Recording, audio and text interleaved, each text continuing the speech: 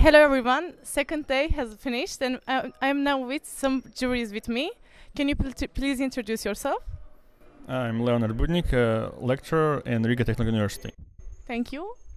And my name is Modris Ozoliņš, and I'm teaching at Riga Technical University, and I'm managing a master program called Innovation and Entrepreneurship. Thank you. And do you think it's beneficial for, for a student to join such an international competition? Yes, of course. They have uh, a, have chance to work in a group, to uh, work in a very small time frame, and uh, generate ideas uh, under pressure. And I think it's it's most fun for them. And what do you think about today's task? Well, the task was quite tough and challenging, and you have uh, you have set a number of restrictions, and that makes life uh, not so easy. You want anything to add? No, it's a fantastic task. I like it. Okay. And what do you think about the organization level here? Very good. Thank- it's, it's our university. It's our it's our faculty, so we love it.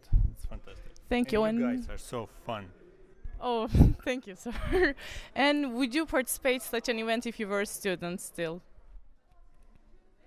Yes, definitely. Of course, of course. They- I, I like uh, working in groups, uh, generating ideas, and uh, do something with my hands. So, yeah, it's. it's Thank very definitely. Thank you. Thank you for your time. Well, may I, may I add Yes. one idea? Or, well, uh, my observation is um, there have been quite a different projects and uh, they brought to uh, different results. I believe that all the groups enjoyed the process and learned a lot. But in order to succeed and in order to win, a combination of um, different um knowledge and practice is needed. And there is definitely engineering knowledge is needed teamwork is needed and artistic and uh, creative uh, thoughts are very important as well. As i have mentioned in order to well what's the difference between a mechanism and a musical instrument? Uh, that is a soul and uh, that's not easy to create a soul.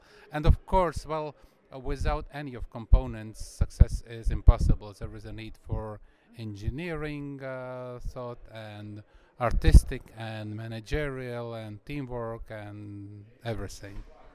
Thank you, sir.